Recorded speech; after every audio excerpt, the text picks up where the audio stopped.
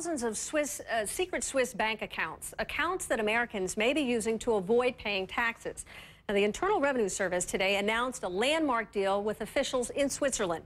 It means the IRS can peek into more than 4,000 accounts held by rich Americans in Switzerland's biggest bank. Billions of dollars could be on the line. Our Tom Foreman has been looking into these vaults of banking secrecy. And Tom, what are we following here? Well, I'll tell you something, Suzanne. What we're following here is what really may be one of the biggest stories of the day, although it may not jump out at you that way to begin with. Look at this map. Everywhere that you see one of these raised gold symbols like this is a place in the world where people can do offshore banking. So you see it's off the coast of Africa here, Europe, over in the, in the South Pacific and Central America.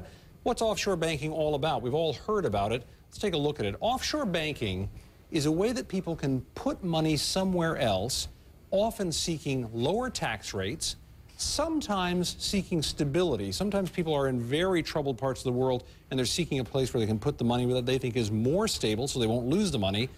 But most of all, many people say it's about this, about privacy, about hiding exactly how much you have perhaps from the government in which you live. Now, there are other reasons too global banking, global business deals, things like that. There's some good reasons for this in many cases, but it's very widespread. Look at this down in the Caribbean, lots of it going on. The advantage to small nations is it allows them to compete on the world stage by offering something that maybe they can't offer in terms of natural resources or products or trade. But let's take a look over here at the big story here, which is, um, I'm going to have to spin it by hand over here. If we go over and look at Switzerland, this is where USB is, and this, Suzanne, is what they think could be the mother lode in this big story. And why, why is the IRS going after them? Well, what they did is they went after USB, this big bank over that offers, uh, UBS, excuse me. They offered this, they went after them to say, we need to know who you're dealing with because we think some of these people are trying to cheat our government. Uh, ultimately, uh, UBS said they'd go along, and they gave them about 5,000 accounts of the information on about 5,000 accounts. The IRS initially wanted 10 times as many, so it's not as much as they wanted, but these 5,000 accounts at some point or another had about 18 billion total dollars in them. These people are coming under pressure now, but this is the part that matters right down here. Sure. September 23rd is the voluntary deadline from the IRS where they're saying to these people who are going to be identified, you can come forward and talk to us before then. Tell us what your money was, what you were doing with it, and you might get off this without such a big deal. Why does that matter?